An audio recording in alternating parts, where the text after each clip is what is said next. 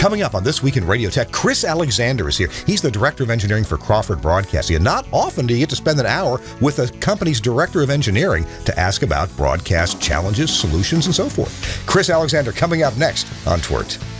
This Week in Radio Tech is brought to you by Broadcasters General Store with outstanding service, savings, and support online at bgs.cc. By Broadcast Bionics with the Bionic Studio, including talk show control, social media, and visual radio. Broadcast Bionics brings exceptional audience engagement to radio and TV. By Angry Audio. Audio problems disappear when you get angry at angryaudio.com and by MaxxKonnect Wireless, prioritized high speed internet service designed for transmitter sites and remote broadcasts. Hey, welcome into This Week in Radio Tech, the show where we talk about everything from uh, the microphone to that light bulb right there at the top of the tower. I'm Kirk Harnack, your host, delighted to be here and glad you could join us on this beautiful spring day, beautiful across a lot of the U.S. here in Nashville, where I am. It's a beautiful sunny day, absolutely gorgeous. Uh, we're going to try to build a little fire outside in the in the um, in the fire pit uh, this evening. So we're going to try to get that done here. Uh, sorry about my voice. I'm, I'm a little under the weather. I caught a cold uh, about uh, four days ago, and I'm I'm almost over it, but but not quite. Hey, I'm in the uh, Telos Alliance studio here in Nashville, Tennessee. Big thanks to my employer, the folks at the Telos Alliance, who uh, give me a couple hours every Thursday to work on and produce this week in Radio Tech and bring it to you. And of course, I would encourage you to check out my employer's website at telosalliance.com we got new stuff coming out all the time. I've been playing with uh, the new software audio consoles that are fully uh, in software, fully server based. I've got a server here, an old Dell R710 that's running six audio consoles on it, and you you access them all with a beautiful HTML uh, graphical user interface. It's just gorgeous. I've, we've got some videos up on the website about that. And now we've got a phone system. The VX phone system is now fully integrated into a Docker container and you can uh, install that. And, and by the way, just to see how small of a PC I could put an audio console on, I have an old Dell Optiplex 755, and you can buy them all day long on um, eBay for 50 bucks. 50 bucks with a Core 2 Duo, you know, an old Dell, and wipe out Windows, put Ubuntu uh, 20.04 on it, and install an audio console from uh, from from Telos Alliance. It is so cool and it just sits there and runs. I got, I think I got 24 faders on it. 24 faders. Okay, enough about all that. Anyway, I really appreciate uh, Telos Alliance uh, for uh, providing me full time employment and also for uh, giving me lots of toys to play with and tell you about. All right, enough about all that. I want to bring in Cris Alexander. Cris is the Director of Engineering for Crawford Broadcasting. And Cris, welcome into the show. Glad you're here. Thank you. Glad to be here that uh, you're in an interesting looking place. That doesn't look like your normal office. Tell me where you're at. No, no I'm. Uh, you caught me. You caught me at our uh, cabin up in the uh, up in the high Rockies here. So we hide out a lot up here. Uh, you know, uh, really year round, but especially once we get into the warmer months, we um, we hide out here a lot, like really? three days a week. Yeah. Really? what kind of elevation are you at there? About 8,600 feet right here and I'm looking out the window, and the Continental Divide is just right over there. You know, I couldn't quite throw a rock that far, but it's not far. And what kind of elevation is the Continental Divide? At least that part of it. Oh, it's twelve thousand plus right there. Really? Yeah. Wow. Snow cap. Snow cap. Beautiful. Just. That's a. I think a gorgeous 80, place. 8,600 feet where you're at sounds like oxygen, uh, supplemental oxygen area to me. but well, you, are, are, are well, you used to it? You know, I you know we moved here from Texas, 600 feet AMSL, oh uh, 22 years ago, and it it took us a couple of years, but we've definitely acclimated to it. And uh, since we spend so much time up here, we don't even notice it anymore. Hey, uh, we're going to get into some cool uh, technical discussions, including um, studio infrastructure overhauls. Uh, we're going to focus on co-locating AM transmitters, since um, a lot of AM stations are finding out that their transmitter site, the property, is now worth more than the radio station. That's happened in a couple of big markets. Some big stations have, have found that out. And they've had to go co-locate or move. So you're kind of an expert at that. We're also going to talk about uh, MDCL, Uh, that's an interesting uh, topic, and and also dealing with telco abandonment of legacy services, including abandoning POTS. So you've you're hands on. You got some real world stuff, and uh, um, you also uh, uh, well, we'll talk about later. But Cris puts out this local oscillator newsletter, which has just the best minds in broadcast engineering speaking on real world problems, issues, and challenges and how they fix them. Uh, and that gets put out every month. And I got to give a little uh, prop here to two different people. And I know these are kind of competitive, competing magazines here, comp- competing uh, uh, publications. Cris is the uh, editor of Radio World's Engineering Extra. Do, do I have that right, Cris? Is that right? Yeah, I'm the technical editor of Radio World. Technical editor. Right. Technical editor of Radio And, and so uh, one of the cool things about Engineering Extra, of course, is it's just engineering stuff. Now, at the same time, uh, I need to talk about these guys at Radio Guide. Radio Guide is also technical articles, and um, Radio Guide's articles tend to go, but tend to be a little bit longer. They tend to go in depth uh, a bit more. But you'll find great articles on engineering in both of these publications: Radio World Engineering Extra and Radio Guide. And uh, I need to tell you that you can find Radio Guide at radio-guide.com on the interwebs. So appreciate uh, Ray Topp, and I appreciate Cris Alexander coming on to, to talk with us about about these things. Okay. got that out of the way. Cris, um, we're gonna uh, we got a few minutes before we need to take our, our first break. Um, let's see. Gosh, there's so many things we could we could chat about. I guess why don't we why don't we tee off this topic of co-locating AM stations, and we'll kind of tee it up here for a, a couple of minutes to find out, you know, what why you know, first of all, the why, what precipitates, what happens that makes people say, you know, we're going to put these two AM stations together.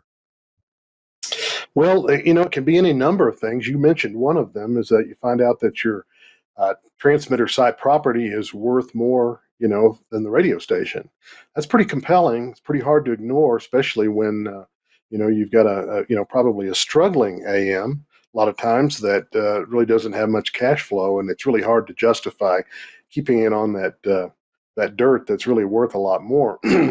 uh, another thing that happens a lot is you lose your lease for whatever reason. Maybe you don't own the property, maybe the landlord owns the property, and uh, uh, they decide that this dirt's worth a whole lot more for an Amazon warehouse than it is for you know a, a broadcast uh, tenant that's not paying anywhere near as much uh, as they as they would be. So that happens sometimes, uh, and there can be all kinds of other uh, precipitating uh, events. But I think those are probably probably the biggest ones right there uh, so many AM transmitter sites are where they physically are because they have to physically be there for proper spacing and so forth. So uh, if if let's imagine you're a radio station and uh, you're come to find out that your transmit that it, would be in your best interest to move, maybe your best financial interest uh, to move, but you're not sure. Well, gee, can I move, and how and could I co-locate with another station? Could we get because this happens with FMs all the time. FMs are oftentimes clustered together in antenna farms where you get two or three or five or six FMs on the same tower. That's not unusual at all, especially in uh, metropolitan areas. So, um, but it doesn't always occur to us as AM station engineers and owners that, well, we could actually put these two or three or maybe even four AM stations together. How, how does one get started thinking about that process? Well, you know, this happens a lot more than you, you think. And, and my phone rings a lot. We own a lot of towers. We own a lot of tower sites. And I pretty regularly get phone calls from uh, AM owners who are in a situation just like uh, we just talked about there. And uh, they're wanting to know could we uh, study your, uh, you know, whatever call sign um, tower site for the purpose of co locating with you because we're losing our site for whatever reason. And so that that kind of thing uh, happens a lot. But it, you know, you don't have to co-locate with an with another AM. Um, recently, um, uh, Hatfield and Dawson, I believe, uh, they did a co-locate with on a cellular tower. So you can do that. I have one in in uh, Detroit, Michigan, that is actually on a, a uh, thousand foot FM TV tower uh, that has a has a skirt on it, and we feed that skirt, and it has some ground radials, and so uh, you know you can do it on an FM tower. Uh, some of the new uh, AM uh, rules have really relaxed the um, the efficiency requirements, so mm. it, it's not quite like you can you know load up a bed spring and see how that works, but you really do have an awful lot of options, and of course, some of the some of those rule changes were really designed to to give uh, AM broadcasters some options in that regard. Are there any? Uh, excuse me. Are there any options um, that would be unusual that may may not have been unusual in the past, like some kind of a of a top loaded uh, wire, uh, you know, be- between two telephone poles? Is, are there any unusual options? One should think. You mentioned the cell tower, uh, and I guess this would be a, be another skirt fed. So any you know a vertical structure um, can be can be skirt fed in, in one way or another. Any other things that we should be thinking about?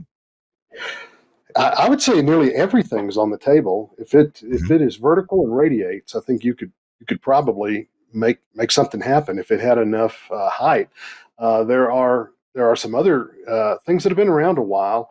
Uh, things that are normally used for travelers information services like Valcom whips. The FCC uh, a year or so ago approved those for use above a certain frequency. I want to say 1240, but I could be wrong there.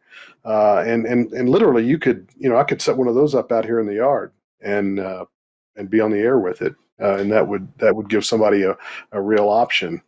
Um, of course, there's the you know the Kinstar uh, antenna uh, mm-hmm. that uh, you know we oh, yeah. we saw a few years ago. There's just there's just all kinds of things. So you know I think the best the best course of action is to stick with the conventional as much as possible because it's going to mm-hmm. be the most efficient. Uh, it's going to be the easiest to make work. Uh, it's going to uh, give you the most signal for the uh, amount of money you're putting into it and the amount of power you're driving it with, and all of those things. But uh, you know, if that's not possible, uh, you know, then you may have to have to think creatively. I forgot about that uh, Kinstar antenna from Kintronics. Uh, that's what a pole in the middle and about four poles on the edges, and with some uh, horizontal wires going out to them, and they're fed in, in an interesting configuration, right? That's right. Um, and then, then I was just right on the front of this this radio guide, this HEBA uh, antenna that Grady Moats uh, has been uh, working to. well, he's finished the engineering on. Kind of figured out this was popular, or it, it was talked about 20 plus years ago and I think it was an engineer, I want to say from Egypt, that was promoting it. And I don't think they had it quite figured out at the time. They knew they had something, but they didn't get it really, really dialed in. And I think Grady Moats has, has uh, with some help from others, has really got this thing dialed in. And so that is an option right there. They're getting some, you know, perfectly decent results out of that antenna design. Interesting. Um, so we're going to uh, talk about more of the mechanics of co-locating uh, uh AM stations. You know, how close can they be? How far can they be apart from each other on the dial if you want to put a couple stations together or co locate with other stuff? What do you have to worry about if you're putting your AM on a cell tower? That's coming up in just a few minutes. We're here with Cris Alexander. He's the Director of Engineering at Crawford Broadcasting Company. I'm Kirk Harnack in the Telos Alliance studio in Nashville, Tennessee. Our show is brought to you in part by my good friends at Broadcast Bionics. We'll be right back. Camera One from Broadcast Bionics designed to bring video to your audio content, visualizing radio and podcasts for social media. Camera One can automatically create, capture, and brand professionally switched video for live streaming or upload, making your production shareable. Control and configure using a web browser on any device. Camera One is available as a 4 camera or 8 camera system using the Blackmagic ATEM Mini range, including the ATEM Mini Extreme. You can use cameras to suit your studio and your budget. You'll need one camera for a studio wide shot and usually one camera per microphone. A standard multi-channel sound card or IP driver monitors audio from each studio microphone, and we work natively with Axia systems. Ideally, this will be a post-fader feed from each mic, although you can use pre-fade audio or a mic split if that's all you have available. These audio levels are used to intelligently switch the video feed when each contributor is talking. You can also group microphones together into one shot and use the audio from a mixer's aux bus. You can use Camera One's auto switch feature, or disable it and switch using the on-screen buttons or the buttons on the ATEM. Recordings can automatically start when you tell the system you're on the air. This on-air indication can be linked to your studio's red lights via IP or an Advantech Adam GPIO interface. You can quickly browse all the videos that have been automatically created during your broadcast, download them, and post. Camera One is a user installable system. You'll need a good spec Windows 10 PC, i7 with plenty of storage, and 16 gig of RAM. It's better if this machine isn't used for anything else. Remember, you can control the software in a web browser on another device on your network. Camera One, a thrifty way of creating scroll stopping video from your show or podcast from Broadcast Bionics. Thanks so much to Broadcast Bionics for sponsoring This Week in Radio Tech. Go to bionic.radio to find out more about uh, Camera One. What a cool system. They've been doing this for a long time and, and uh, partners with a lot of things that uh, we do over at Telos Alliance. All right. Uh, we're here with Cris Alexander, Director of Engineering at Crawford Broadcasting. Cris, take 30 seconds and tell us what Crawford Broadcasting is. We don't always hear about it, but you, you guys are a pretty stable company in the radio biz. Yeah, we've been around since 1959. Uh, I haven't personally been with Crawford Broadcasting that long. I've been with them for uh, almost 37 years now. Came on in uh, 1984 into my present job, but uh, uh we are um, we're kind of spread out. Uh, you know, we're on both coasts, uh, and you know, and right down the middle. And I've lost count of of the number of total stations. I think we have, I think we have 36 total signals. Okay. Um, on the air, something like that.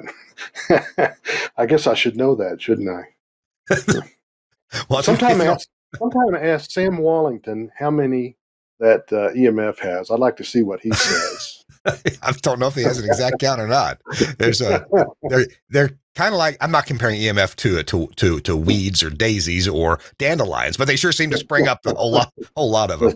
They, sure. they do. I think if we asked Sam that, he'd he'd look at his watch and and uh, and say, well, what, what time is it? You know, let, let, let, me run the growth algorithm, and for this time of day, right. I'll tell you what it is. I gotta say, uh, uh, one thing that uh, I'm glad about about EMF, um, we are um, some of my stations in Mississippi are co-located on a tower with with EMF. And when the, they bought an FM station that, that we kind of wanted to buy, but we didn't have the money to buy it. So they bought it and they're not a direct competitor to any of our formats and they seriously improved the transmitter site uh, on their own. I, I, guess at their own, at their own expense because the tower owner wasn't going to improve it, and so EMF made a number of improvements right off the bat. And uh, then the tower's gone through a couple of sales, and somebody else owns it now. But uh, anyway, they, have been a very good um, co co tenant uh, there, so yeah, that's that's always folks. good. Got a lot of friends over there, great folks. So, uh, putting uh, we you know we've talked to Mark Persons about this a bit, but tell us what some of the important key factors are when you want to think about putting two AM stations on the same tower or towers. What what technically what do you have to worry about? Well, I guess the the number one thing is your allocation. Uh, you know, what channel are you on, and who do you have to protect? Uh, you know, and so are you going to be directional or non-directional? And if you can be non-directional, how much power can you run? And it, with that amount of power, can you cover the market that you that you want to cover? So those are your right up front questions. Uh, I the, the the one that I'm working on right now is uh, a 12 uh, 1220 in uh, Denver. Uh, mm-hmm. the station has been on a lease tower uh, right in the middle of Denver. I mean, you just couldn't couldn't pick a spot more in the center of geographic Denver. Uh, it's been there for a long, long time, and uh, uh, it's a tall tower, so it's a it's essentially a kilowatt station, but it runs at 660 watts because of the efficiency of that tower to pr- uh, protect the other stations. And so it's non-directional right now, and it really covers the market well. Well, that tower. Uh, this is another situation where the land's worth more than the tower, and uh, there's all sorts of issues there. So we've been given notice that at the end of our lease, uh, we're going to have to find another place to go. Um, so, you know, I looked at the allocation, and I have uh, I have protections south and I have protections north. They're not super tight, but they are of consideration. And uh, of course, we already have uh, three other tower sites in Denver, in the Denver area, and so they're the first place I looked. I mean, why go rent something if you've already owned something? Um, and so uh, we, of course, wanted the closest in tower site, and that had to be the KLZ tower site. KLZ is on 560 kilohertz. It's one of the old, uh, you know, the old regionals. Um, mm-hmm. You know, it covers a huge area. Uh, and it, it has two big 400 and, uh, 450 foot towers that are wide space, like 900 feet apart. And then uh, uh, And, and, and if it was just that, we'd be okay. Well, let's just uh, put another tower out there, and we'll be good to go. The thing is, a few years ago, um, we did another co-location, and so I have an eight, I have my 810 station operating there with a four tower directional. None of them shared with KLZ, so we have we have two towers wide spaced, and then we have four. We have Mama and Papa and four babies in the middle, and uh, so we already have two, and now I'm wanting to bring a 12, 1220 in there as well. Uh, but from up there, I'm going to have to be a little bit directional to protect the, uh, the, mm. the stations to the north. So that means I can share one of those 810 towers, but I have to put up one more to achieve the protections that I need. So, you know, it's a complex thing and it's going to be some expense involved, but really the uh, uh, looking at all the other options uh, for that particular radio station and the allocation, that's really about our, our only only hope of keeping that particular station alive. It's uh, uh, you know uh, it's an it's a low power AM. It's uh, you know it's not just worth a whole lot, and so you know there's a, a point of diminishing returns you reach very quickly. So moving it onto our own land is uh, is the thing that makes a lot of sense, and that's what we uh, we plan to do. But it's going to take some engineering uh, to do it. But those are the questions that you have to answer, ask, ask and answer up front for any co-location, you, you really need to deal with the uh, with the allocation. I got to believe there there comes a calculus where you wonder: Do we turn this license in, or do we in fact relocate it? Maybe at a, a lower power level. Maybe it's now it. Maybe you have to make it non-directional where it was directional at a lower power. Um, one of one of my stations in Mississippi years ago, we we went we got away from a directional tower site that an ice storm had taken down like uh, four of the five towers. And we ended up going non directional at a lower power level, but still covering the market that we just couldn't say we were the most powerful station in the Mississippi Delta anymore. Uh, it really didn't matter. We were covering the city that we of financial interest. So you got to do this calculus. Do we want to be a lower power station? Keep the license because who knows? Maybe there's some FCC benefit to hanging on to that AM license somewhere down the road. Maybe at some point, a pipe dream, but maybe uh, maybe they are able to migrate AM stations into the lower part of the FM band or, or something. I, you know, channel six area, maybe never ever happened, but it would be, I got to think there's some value in, in holding on the license instead of just turning it in like some stations have elected to do because they didn't really feel they had another choice. Well, the obvious benefit is an FM translator. Yeah, you could pair. You can pair with the uh, AM. Something that I'm seeing a lot of um, is, let's just say, a station has uh, multiple towers, like you said, and uh, they decide let's let's take down uh, two of the towers. Let's keep one. We have to reduce our power to a non-directional, whatever the non-directional allocation would would sustain, uh, but it still covers it still covers the market, and and uh, and we have a translator, and so that holding that AM license allows us to uh, to have that translator, and the translator then covers really what they want. And that that you know the AM is the primary station, uh, uh-huh. but the FM is what everybody's going to be listening to. You know, so funny there, there's, there's value there. Yeah. This is exactly what we did in uh, in Greenville, Mississippi. We had a three tower directional array for uh, 1330 AM, and uh, we ended up going non directional. Uh, our nighttime power is just nil. It's very, very low. But uh, we do have the, we, we have a translator, and the translator's right on the 1 a.m. tower. We've even sold off property that has one of the towers on it. Now the new owner hasn't removed the tower yet, but but uh, but he will. And then someday we'll take down the other tower. Right now they're just just just floating. Um, as long as we're on this the AM topic, so we we we see that you know there's benefit perhaps in in uh, co-locating or coming up with an interesting uh, vertical radiator. Um, what about uh, yeah? Some years ago we uh, talked a bit about MDCL. In fact, we had a, a gentleman on from Alaska who talked about uh, going with the MDCL uh, uh, modulation scheme, if you will, or power control scheme with AM stations. Saving money with MD. First of all, remind us what MDCL is and and how does it work. MDCL is the, what the FCC calls it, and it's a good it's a good acronym. Some people call it DCC for Dynamic Carrier Control, but um, uh, MDCL uh, stands for Modulation Dependent Carrier Level. And uh, essentially, what it does is it reduces the carrier level of the AM with modulation. That can go it can go either way, uh, uh, and there's different algorithms that you can use, and you can then select different levels of uh, compression. Uh, but uh, w- one of them, uh, one of the algorithms, and I, am trying to remember what they are, um, but one of them reduces the carrier when there's silence. Uh, and then when when there's uh, when the modulation goes up, the carrier goes up. Uh, the one we use um, is called AMC.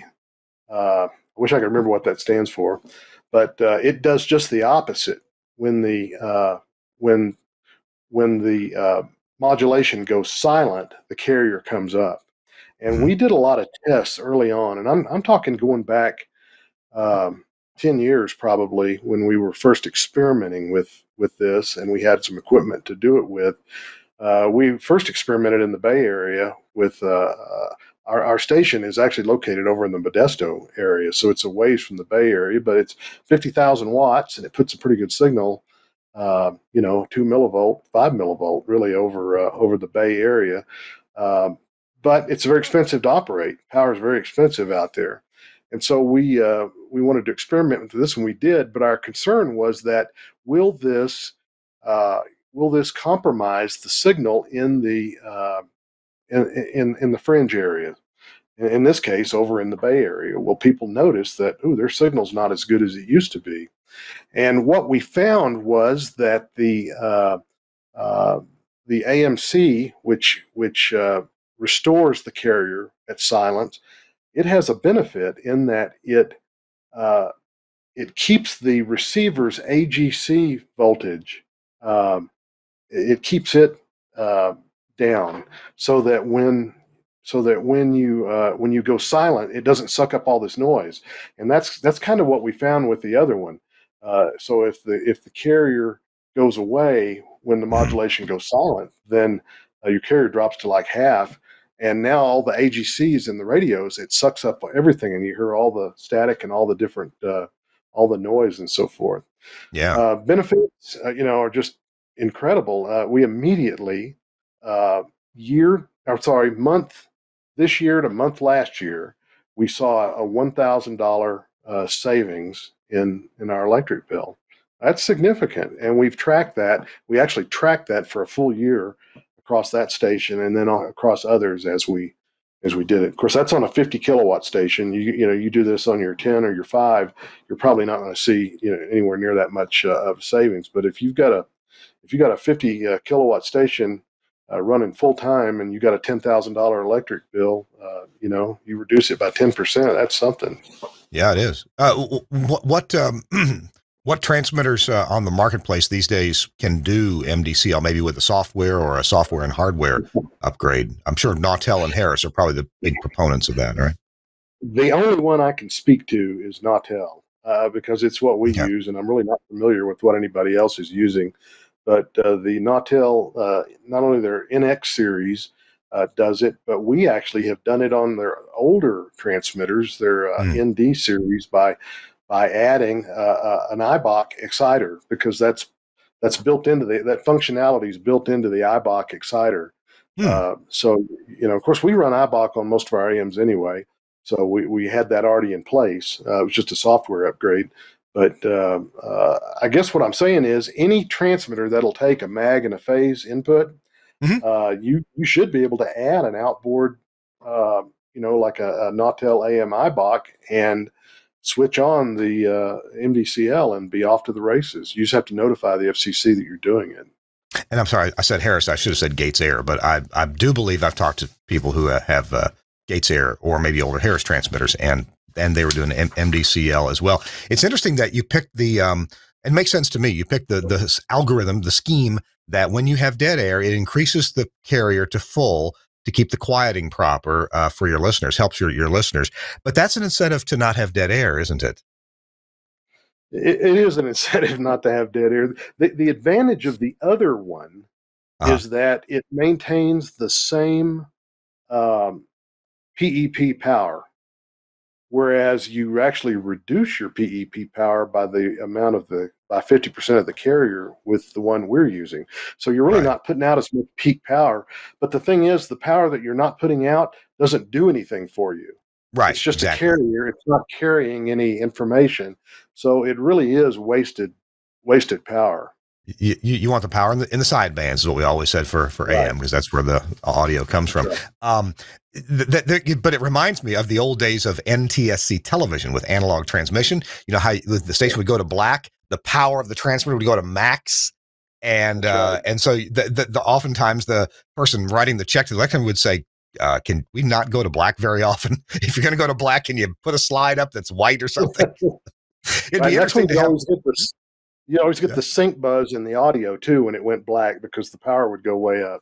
That's right. That's right. You should have a you, you know, somebody somebody will do it. You know, have a Raspberry Pi that figures out uh, for every second of dead air on an MDCL transmitter with the algorithm you're running, uh, it it costs you this much extra. There's a little counter of dollars that go up because you got dead air. Well, another thing that we found with this, and this is a this is a real consideration, is your auxiliary transmitter. Suppose you have MDCL on your main, and something goes wrong with it. You have to do maintenance. It's down, whatever, and you go to your aux, and uh, you know you run on your aux for maybe uh, an hour or two while you're fixing the uh, the main, and you put the main back on the air, and you think all is well, and Uh-huh. then here comes the electric bill at the end of the month and you fall out of your chair because that thousand dollars is back in there. And you Oh. go, what on earth? I mean, I just ran the thing for an hour.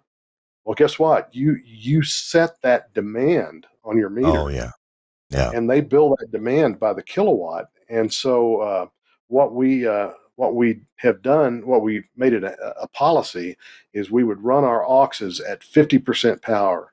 That way, we would not we would not push that Uh-huh. demand up. Uh, since then, pretty much all of our auxes also have MDCL, so it's not a not a factor for us anymore. But uh, that was a pretty hard lesson to learn, and and it, it'll sneak up on you. You don't know, you don't think about it. You're you're like you're in these markets where you got full power auxes anyway. But my, the stations I took care of, uh, if we if we were lucky enough to have an aux, it was you know a, a kilowatt, whereas the main was fifty kilowatts. So you know it wasn't a factor for us. Yeah. Hey, uh, it's this week in Radio Tech, our 545th episode. I'm Kirk Harnack. We're talking to Cris Alexander this hour, and I'm delighted that Cris could be with us. He's a hands-on engineer, and he talks uh, almost daily with uh, his engineers out in the field in different markets across the U.S. and uh, just really keeps uh, keep, keeps a real handle on what's going on. So it's great. We got some more topics to talk about coming up, including uh, the telco abandoning abandoning POTS. What do you do? Finding broadband alternatives at your transmitter site. And uh, in fact, we're going to hear about that in a second. And uh, site security in these days when, um, man, there are there are there are gangs out there looking for uh, looking for what you got. So we're going to talk about that coming up. Our show this week in Radio Tech is brought to you in part by Josh Bone and our friends over at MaxxKonnect Wireless. We got a testimonial here from John Takak. We'll be right back. With all of the recent cybersecurity attacks against large corporations, we were looking for a product that would give us the ultimate security at our transmitter sites and as well as with our broadcast equipment. MaxxKonnect fits the bill very well. Its greatest security feature is the fact that it gives you a single static IP address. Using this single static IP address allows us to close hundreds of open ports on our firewalls across the company and restrict access to only the MaxxKonnect IPs. This has greatly reduced our exposure to the World Wide Web and made us much more secure moving forward. It's also given us the ability to expand as needed in a secure fashion. I'm loving these things. You know, my radio stations are in small towns, and we have uh, internet at our at our stations that is not exactly reliable. Um, you know, they tell us, well, a backhoe, uh, you know, caught our fiber along the Mississippi River. Well, don't you have another feed? No, it's the only feed that feeds the whole town. MaxxKonnect has saved our bacon at our studios several times, providing backup internet service. Really appreciate uh, Josh Bone and MaxxKonnect wireless.com. You can choose your carrier if you have a favorite carrier or one that you know is strong in your area. You can even get a 4G uh, LTE modem that has two SIM cards in it. And uh, remember, it's not the modem. It is the service that makes the big difference there with prioritized data. This week in Radio Tech is also brought to you in part by my buddies over at Angry Audio. Don't get mad, get, get angry. And you know, they are experts at Studio Hub. Why? Because they own it, they bought it. Everything Studio Hub is theirs, and they're developing more new products. In fact, okay, check this out. Now, I, would you need something like this? Maybe so. Here's a female XLR. It's hard to, there we go, female XLR. And on the other side of this is an RJ45. Now, this would be great for either mono audio, because this is one, one female XLR, or it'd be good for AES EBU audio. This is going to get your audio from an AES EBU output um, on a device into the world of Cat5 cable. And you can run that easily low voltage cable uh, wherever you want to go, uh, but probably to the back of your uh, your node or your blade or whatever uh, audio over IP device that you're going into, because those devices tend to use RJ45 connectors. And then here's another version of it. It's got the male XLR on the other end. And there, so again, good for mono analog or good for AES EBU. And if you if if you just want to spend some money to hook two RJ45s together, you can do it that way. I wouldn't, do that.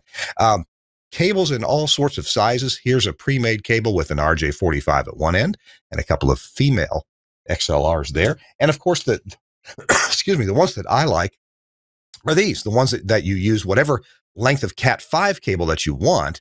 And uh, you know, this this may be a little bit more elegant for some folks. I just like the flexibility of having this dongle at the back side of, of the equipment that I'm hooking to, and then use whatever length of Cat5 cable that I want to get to. It comes in male and female XLRs. You can get uh, bare wires. You can get RCA plugs that would be unbalanced. Uh, you can also get uh, quarter inch tip ring sleeve uh, connectors on there. So all the usual Studio Hub stuff. And they're developing new items as well. So you need to go to angryaudio.com and check out the Studio Hub tab. Um, but this is one of the new items that they have. Now, not many radio stations are probably going to use this device, but recording studios and other audio uh, places may. Uh, it just depends on what you need to, be, to do. It's got all RJ45s across the back here. And these are these come in a couple varieties, some wired for stereo left right audio, some wired for AES EBU. And there's even a version here that's wired to the uh, AES 72 Type 4E standard, which is four AES EBUs on one RJ45 jack. And that brings you to four of the XLR connectors on the front. These are available with all male, all female, half male, half female. There's several different varieties uh, for this panel from Studio Hub. It's an XLR breakout panel from Studio Hub. Check it out. Go to angryaudio.com and you can find out about all their different products there, including the Bluetooth audio gadget, the headphone amps, the gizmos, the gadgets. They got a lot of cool stuff there. So check it out. Uh, angryaudio.com. All right. Uh, I'm Kirk Harnack along with Cris Alexander. On This Week in Radio Tech, it's our 545th episode. Cris, oh man, what are we going to get to next year? Um, fire well, mitigation. Jump into that, let yeah, me yeah, tell you that my, my executive producer texted me during the uh-huh. break uh-huh. and said AMC stands for Amplitude Modulation Compounding.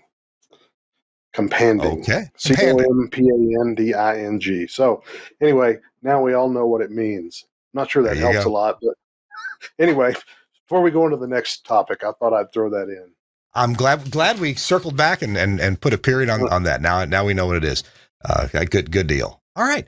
Um, fire, fire mitigation. You were telling me that at the place you are now, at at the Alexander compound on the on the on top of Old Smoky there in Colorado, uh, you had uh, some close calls with fire, and of course we saw transmitter sites get burned up in California in the last year or two. Talk to us about fire mitigation.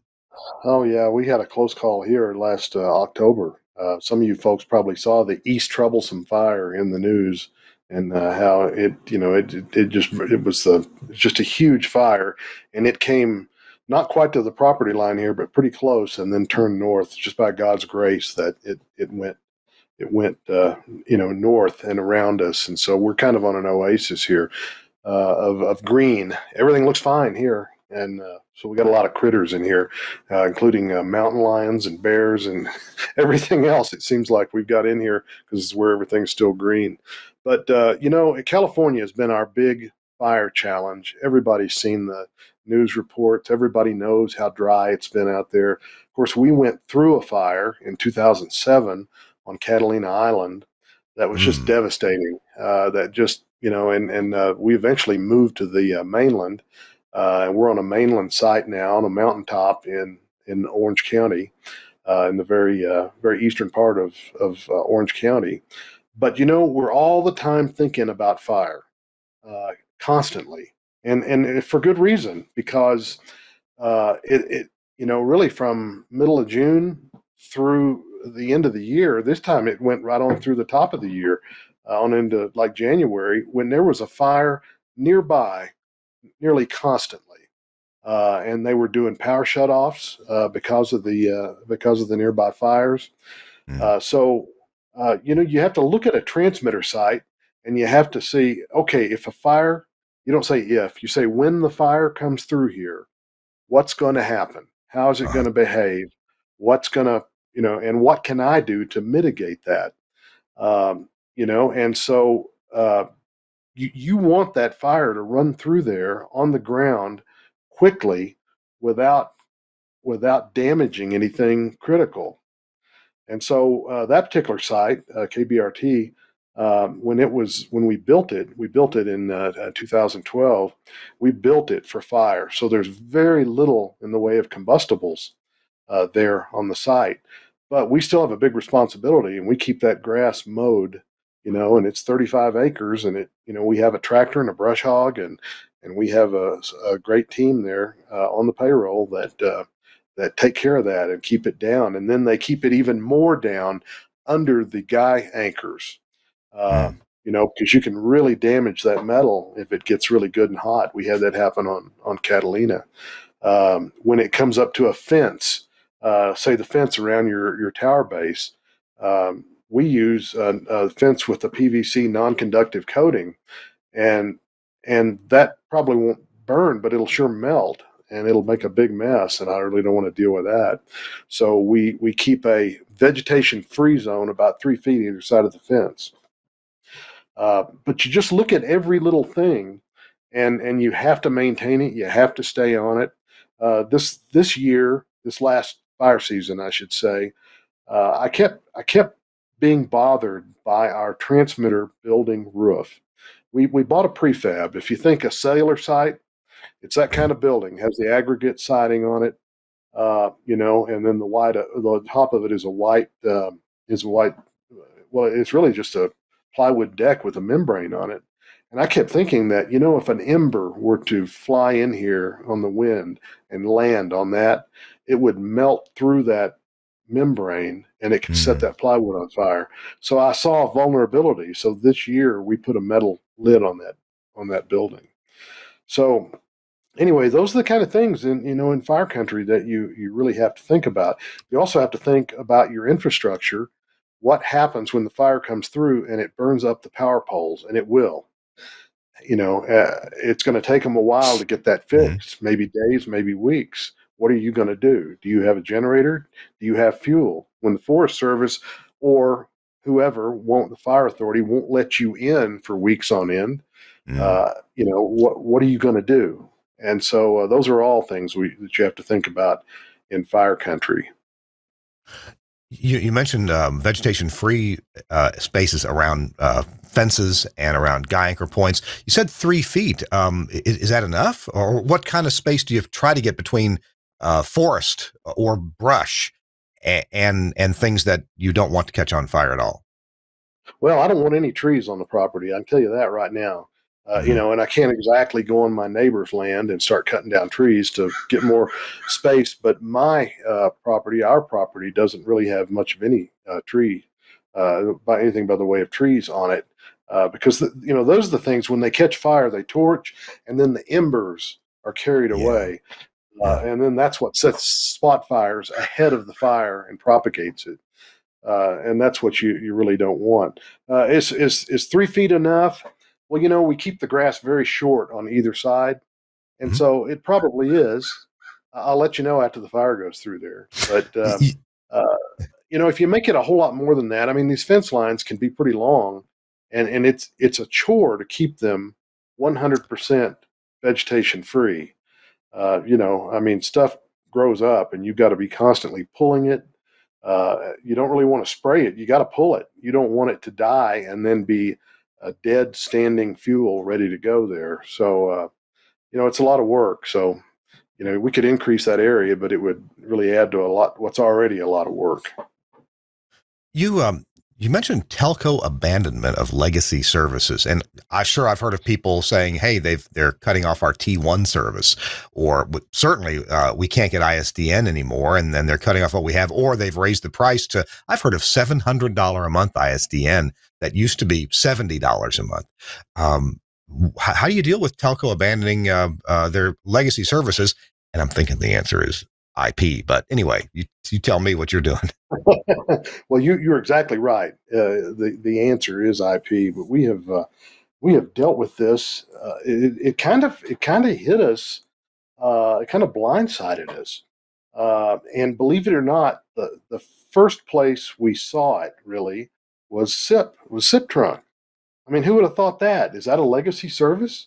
Well, here's the thing: uh, these these carriers are really pushing people to move to cloud based service. Uh, and so, if you have a premise based phone system like we do in most of our uh, in most of our operations, we have uh, uh you know a a uh, telco rack with phone equipment in it.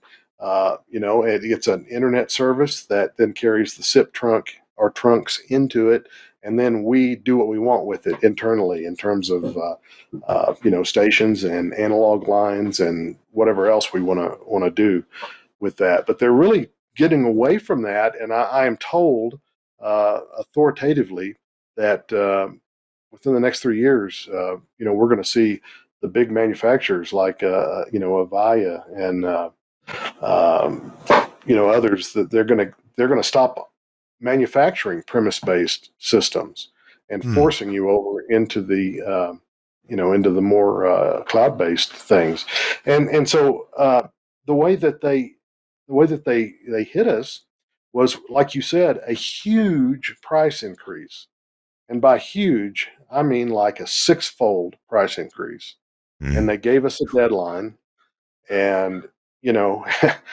uh, we were just stunned by it uh, we've seen this with POTS lines. You know, uh, what, what, do you think, uh, uh, Kirk, would be a, a, reasonable price to pay for a POTS line at a transmitter site? You know, well, you use I, it to call yeah. the manufacturer, or you know, your remote control calls out on it, or you call in and the remote control answers. Very little use. What do you think a, a POTS line? In in Mississippi, we actually just just yeah, we just canceled three POTS lines at three transmitter sites because we were able to get IP there. And for our older uh, Sine systems remote control that want POTS, we just put a POTS adapter in. But we were paying um, 80, 90 bucks a month for each of those POTS lines, which didn't seem out of line. It's a lot, but you know, now we're saving, you know, 260 bucks a month or so from those three sites. What were they wanting for you? Uh, in in Birmingham, Alabama, not too far, mm-hmm. right down I sixty five from you there. Mm-hmm. Um, our AT and T bill for a POTS line at a transmitter site suddenly went from that level up to five hundred forty dollars a month. Gee, five hundred forty dollars, and then at another site, it did the same thing. At another site, the same thing before long, all five of our sites are in the five to six hundred dollar a month range for these gold plated POTS lines that get very little use. And uh, you know, we can't stomach that. So uh, yeah, I, IP is your option, but you, you got to find it. You know, and a lot of times transmitter sites, it's it's really not it's not all that available. And I, I mean, every I know everybody's situation is is different. We've been very lucky in Mississippi and Arkansas, an area that's not well served by ISPs, uh, but we have a relationship with a wireless ISP that covers most of the same area that all uh, 12 of our stations do. And so they get tower space from us and we get internet service. And uh, it's not always a thousand percent reliable. They're a small ISP. They don't get the full attention of the uh, the uh, uh, providers that, that they're with and sometimes you know power goes out, batteries die at a at a hop point. Um, but uh, generally speaking, it works, and that's how we get phones. And two of our stations have on-air programming. Uh, one via a couple of Z/IP Ones uh, uh codecs, and one via the um, the Omnia MPX node carrying uh, FM uh, MPX to a transmitter site. So, it, yeah, it's been a symbiotic relationship, and I would encourage people that you can either do your own, you know, IP radio link uh, or you can uh, you know, partner with a with a wireless ISP. You need to do both and because Yeah, your wireless yeah. link, your your own wireless link is going down. Just a matter of time. Uh, you know, it's gonna. I mean, we we have those Part 101 links all over every every place, and Yeah. uh, but they do go down. You have a big storm come through, um, you know, and it can go down. And and you know, you need reliable uh, telephone security. Uh, you know, you name it at the, at the transmitter site. And so, uh, yes, wireless ISP is a good is a good option. It's not universally available. Um, other places you can get a cable drop, uh, but a lot of times they're not going to want to bring it all the way to your building, and they'll give you Mhm. some huge uh, a quote on a huge price to do the construction to bring it to your building. Mhm. Uh, so we're really we're really getting creative. Um, you know, having them do a drop to a NEMA box that we mount just inside our property. You know, on a couple of poles, and then in they put their modem and so forth inside it, and then we use like a Ubiquiti link or something Yeah. to shoot that over to our building a few hundred feet away. Um, you know, I mean, there's all kinds of uh, things like that that you can do, but you you just got to be creative. You got to think outside the box uh, because otherwise you're going to be paying five six hundred bucks for a, a POTS line. You could be paying, you know, uh, uh, well, we had we had some T1 lines in Chicago, and and and they went up to to like uh, three thousand dollars a month each. You know, we had to bail out of those. So you know, you're you're going to be facing those kind of things, and you're going to have to be uh, you have to be proactive. And you have to be really creative. Think outside the box. you know, I, I kind of understand companies like AT&T and other providers wanting to get away from the myriad of kind of specialized products that they have that they supplied for for decades. If if you if your business plan could be, we're going to supply IP. Uh, and that's all we're going to supply. We're going to quit supplying, you know, the, the the stuff that requires specialized copper this or copper that or end devices or booster devices along the way. We're going to quit supplying that you know, I may not like it, but I get it. And since now we can we can do almost anything we want to do over IP. Of course, some engineers will, will complain, and I get it that well, IP is not reliable at our transmit or at our studio or at our transmitter site. Well, uh, hey, a, friend of the show here, guy named Dave Anderson, I used to engineer for a group of Christian stations down in Florida. At his studio, he had four sources of internet, and one of them was a 4G modem. But other one, you know, he had four sources and a and a router that would handle that. And then at each of his transmitter sites, he made sure he had two sources of internet, even if one of them was a, an LTE modem. And even if one of them was, uh, let's say they couldn't, just like you said, couldn't get a cable drop at the transmitter site, they'd find out, well, how far away can we get a cable drop? Oh, there's a mom and pop grocery store there. Well, let's go talk to them. Hey, how would you like free internet? We'll pay for your internet if you'll let us put a little tower in the back of your house here and shoot that to our transmitter site. And and he said that that's where uh, yeah, it's trouble to set up, but it it works. It's worked out. Uh, and I, I know it may not be the reliability factor that a you know major broadcaster like Crawford would want to have, but it's it, it you know all these things can be part of of an overall plan. That's right, and you you got to be uh, uh, you you need n plus one, Yeah. meaning however many feeds that you need plus one. So so you have something to go back uh, fall back on, and and uh, really those and and you know I think satellite inter- internet is is a uh, it, it has not been good to us over the years. We we tried to use it on Catalina Island after the fire, and and it really didn't work very well. Uh, it had huge latency issues, and and, and that was HughesNet, and that was that was 2007, a long time ago. Yeah. Uh, but there are like Viasat. Uh, hey, they'll give you they'll give you a static IP address, and and uh, they claim their latency is in the in the uh, uh, two digit milliseconds. Uh, you know, we can live with that. Well, Uh, and and with with SpaceX, SpaceX is Yeah. putting up some. Yeah, they're getting ready to. Uh, they're launching a, a network. So those those may be some real options for us as secondary or tertiary, uh, you know, uh, feeds for IP feeds, or primary if you just can't do anything else. I've got one studio site in very rural Mississippi. Interesting thing though, it's the number one radio station in the county, which you know I don't know, may not be saying a lot, but okay, it, it is. And uh, I swear the DSL comes in on the top two wires of a barbed wire fence. It's just awful. hey, um, site site security, site security. This is kind of an issue when people are oh my goodness, people are hooked on all kinds of bad drugs and they want money, and some people are just willing to take and steal anybody else's stuff to get it. How is this causing you a problem, and how are you, how are you addressing it?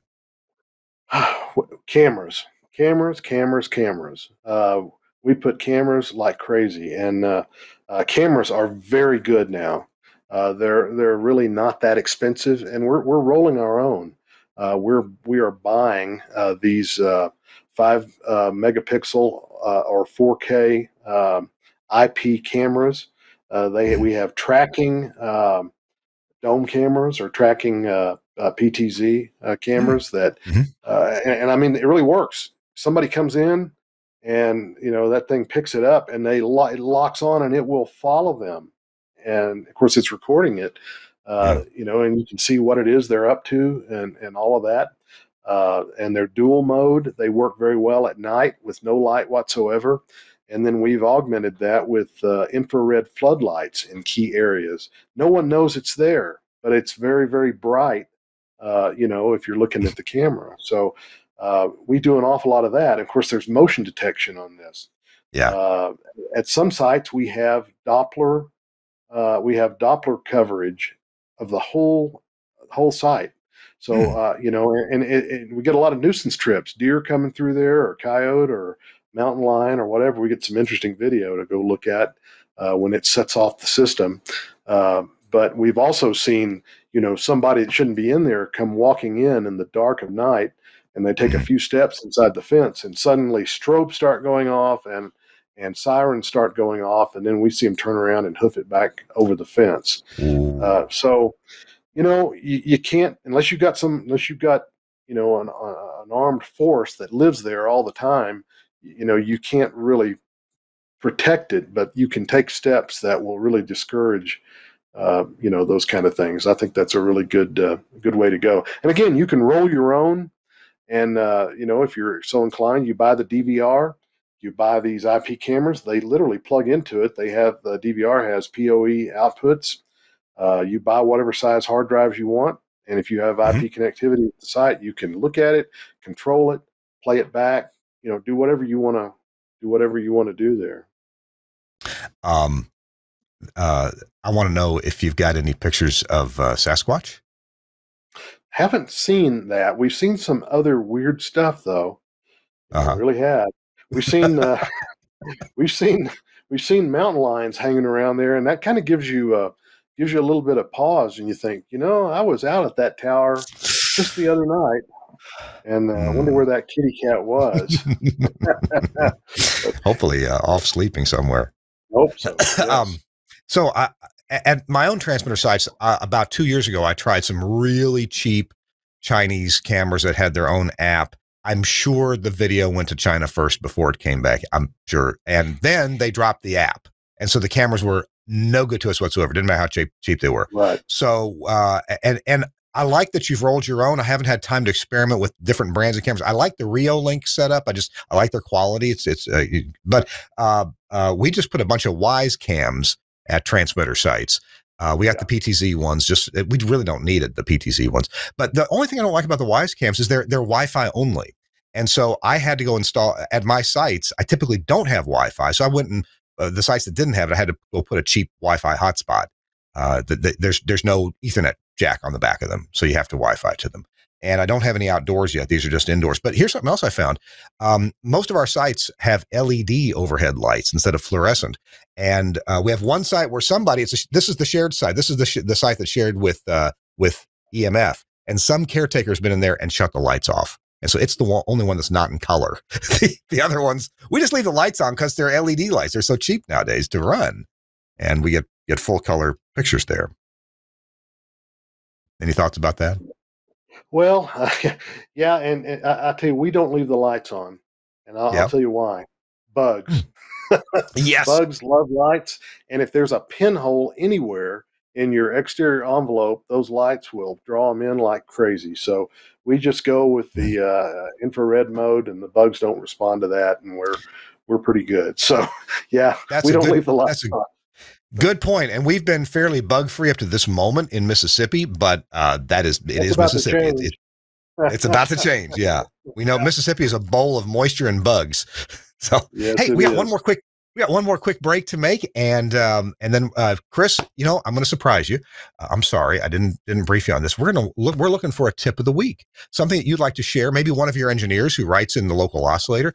Uh, some tip that uh, it could be a website, could be a tool, could be something a great deal from Harbor Freight. I don't know, uh, or just a, a procedure that you guys find to be valuable throughout Crawford Broadcasting that you'd like to share with other engineers. So if you would be thinking on that for about two minutes, it's this week in Radio Tech. I'm Kirk Harnack along with Cris Alexander with the director of engineering at Crawford Broadcasting. They've got 30 some stations all across the U.S. And uh, their engineers do a write up every month in the, a little uh, paper called the Local Oscillator. I believe that is available to people who want it. And uh, I get it every month. It's full of great ideas and just let you know what you know what challenges engineers are coming are dealing with and, and what how they're coming up uh, with ways to solve it. This week in Radio Tech is brought to you in part by our friends over at Broadcaster General Store, where you can get Vox Pro. Let's hear about it. Hey, what's happening? St. John here coming to you from Command Central and wanted to tell you about the absolute best partner you can have in radio. I'm talking about Boom, Wheatstone's Vox Pro. Lots of different audio software out there. Why Vox Pro? It's the only software designed to do what we needed to do, which is record, edit, playback in real time. When I say lightning fast, I'm going to show you how fast you can edit stuff up in Vox Pro right now. Literally three clicks on the controller, mark left, mark right, everything that gets marked, you hit delete, it goes away. It's literally that fast. So we're going to take this part right here. Caller nine. Boom. From caller nine to him saying, I'm ready. Five. Ready for that secret sound. Boom. All of that stuff, hit delete, it goes away. Here's your edit. You are tackling secret sound caller nine. I'm ready, St. John. So one of the best features of version 7, this is awesome. It's effects macros, and you can literally put a chain of effects together so that instead of uh, having to normalize a phone bit and then uh, use noise reduction on it and EQ it and all that, you can literally build a chain. One button, this button, this one's called call right here. I just click that. All of those processes happen instantaneously. Final thing that I love about Vox Pro, and there's so much more to get into, but uh, one of my favorite things, you can load it on a laptop. I've literally done my show from a hotel room in Armenia to uh, the conference room at, yeah, this was fun, jury duty. Great thing, no one could tell the difference. Vox Pro makes it totally easy. Telling you, if you're looking for the best on air partner, call my friends at Wheatstone, ask them about Vox Pro, and you'll be glad you did. I wonder if St. John voted guilty or not from the jury the jury room.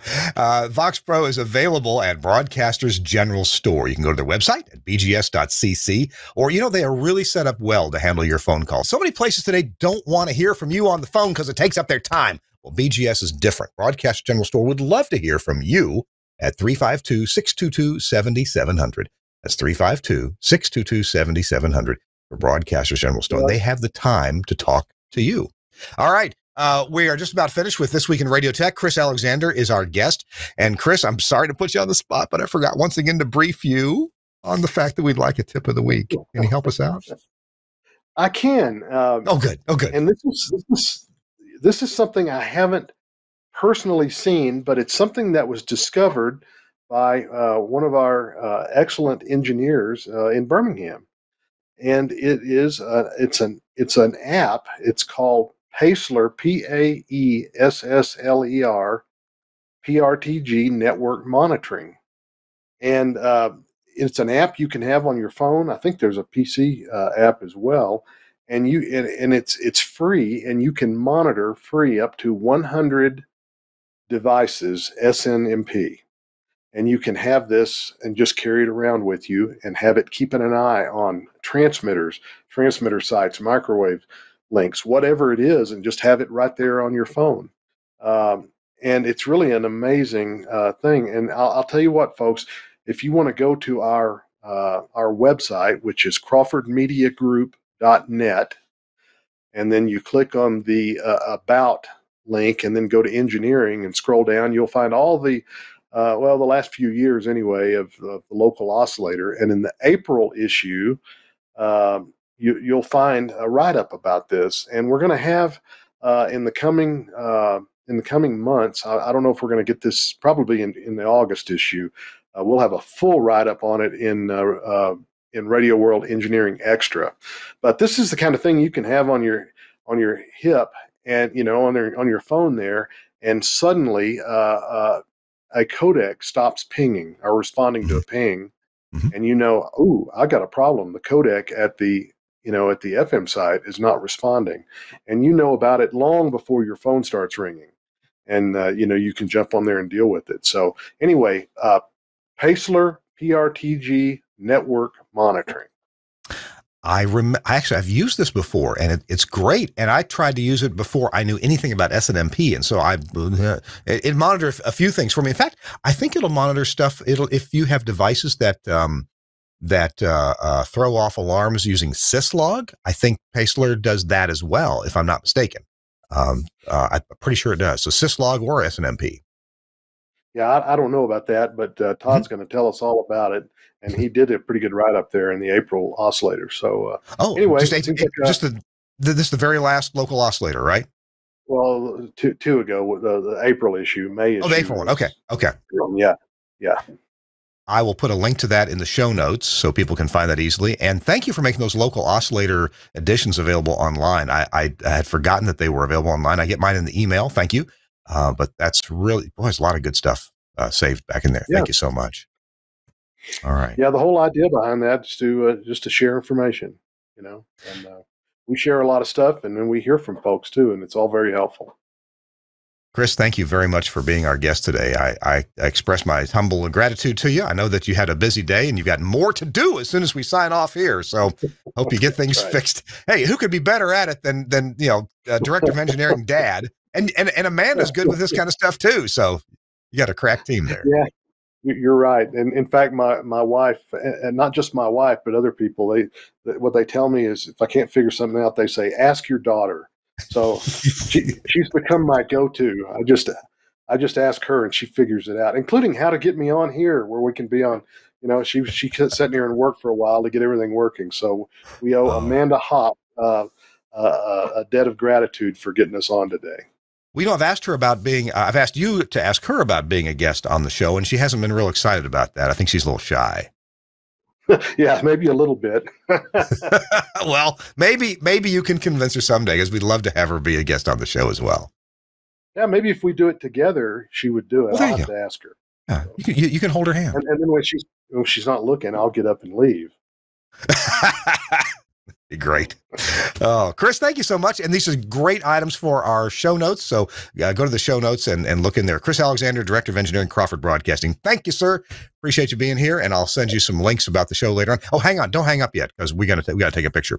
Uh, our show's been brought to you in part by some great sponsors. Go to them. Let them know about This Week in Radio Tech. Please tell your friends. If you're watching on YouTube, please uh, like and subscribe. Uh, got to do that. And, uh, and, and you hit the little bell and get notified when there's a new this week in Radio Tech. Thanks to Suncast, the producer of the show. Really appreciate the great job that he does every week. And thanks also to uh, Andrew Zarian, the founder of the GFQ Network, home of lots of great podcasts. We got to go. We'll see you next week on This Week in Radio Tech. Bye bye.